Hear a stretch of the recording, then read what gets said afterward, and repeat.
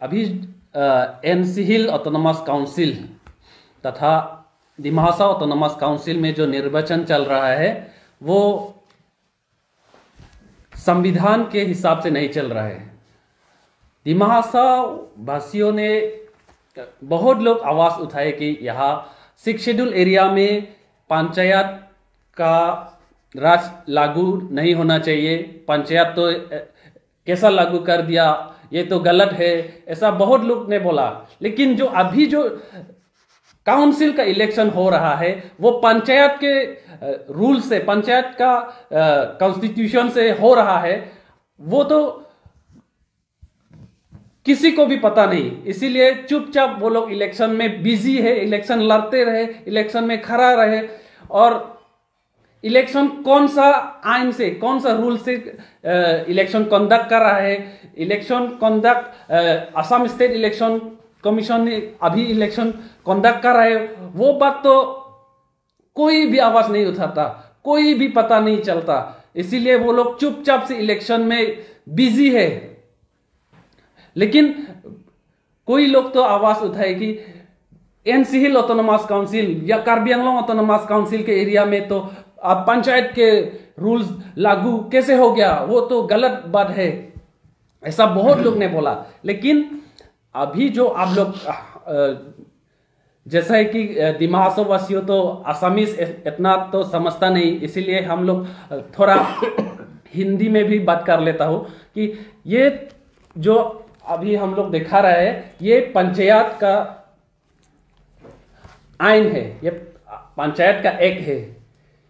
ये पंचायत का एक सिक्स शेड्यूल का एरिया में लागू नहीं कर सकता है, क्योंकि भारत का संविधान आर्टिकल 243 एम में भी सब सब लिखा है कि सिक्स शेड्यूल एरिया यानी कि ट्राइबल एरिया और सिक्स शेड्यूल के बाहर नागालैंड में भी, मणिपुर में भी, और दार्जिलिंग एरिया में भी ये पंचायत का आइन लागू नहीं कर सकता। लेकिन ये तो कार्बी आंगलोंग है और दिमाहासाओ में ये तो स्ट्रॉन्ग सिक्स शेड्यूल एरिया है। और ये सिक्स शेड्यूल के ऊपर भी अभी ये छोटा सा एक पंचायत, ये तो हमारे लिए नहीं है, ये तो प्लेन एरिया के लिए है। असम जनरल एरिया के लिए बनाया है। लेकिन असम गाँव के लिए। असम छोटा छोटा गाँव का इलेक्शन बनाने के लिए इलेक्शन कंडक्ट करने के लिए ये आइन बनाया है। लेकिन अभी ये बड़ा सा autonomous council six schedule autonomous council का इलेक्शन कंडक्ट कर रहे हैं। मतलब हमारा जो ऑटोनोमस काउंसिल है अंदर पंचायत एक में आ गया नीचे नीचे गिर गया हमारा ये ऑटोनोमस काउंसिल कार्बी आंगलोंग या एनसीहिल। ये दोनों काउंसिल अभी पंचायत के अंदर में गिर पड़ा। तो आ, आप लोग समझ जाएगा हम लोग अभी इतना हिंदी में डिटेल्स तो हम लोग नहीं बता सकते क्योंकि हम लोग यहाँ कार्बी आंगलों में इतना हिंदी से बात नहीं करता। हम लोग यहाँ बात करते हैं एसएमइस या Karbi. English. On English. So uh, you can explain mm. with English also. Mm. Yeah.